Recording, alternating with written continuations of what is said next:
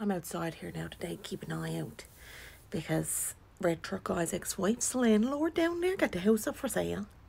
So they're having an open house down there today, see? From 3 to 5. So I'm going to make an appearance down there later on. Not yet, right? I want to see who's going to be going in and out there today, see if it's going to be busy or what.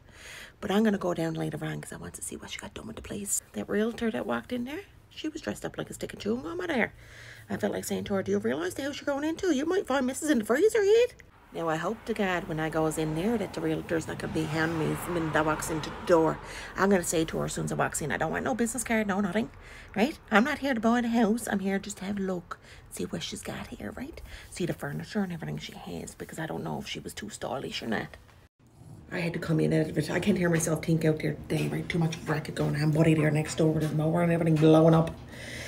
Anyway, as I was saying, I was talking to Margaret this morning, see? telling her all the goings on around down there and told her that I was going to the open house now today. And she said, oh, I'd like to go to that. And I said, why would you go to that? She said, well, you know, I'm looking for a house. She said, and I want to sell mine. And I said, Margaret, you're not going to be want to be on the street here with me, are you?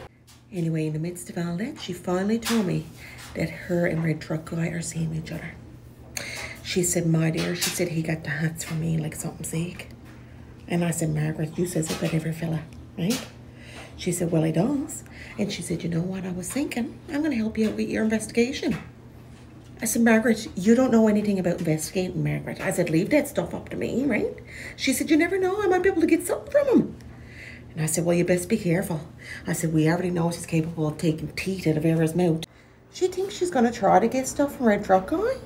He's not going to be telling her nothing, right? He's just using her anyways, I think.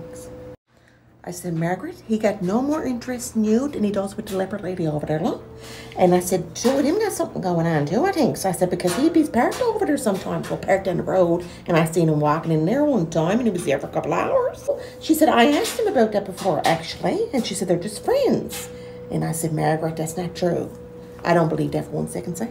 And she said, yeah. She said, he told me that she is actually teaching him pole dancing classes. I said, Margaret, if you believe that, you believe in me.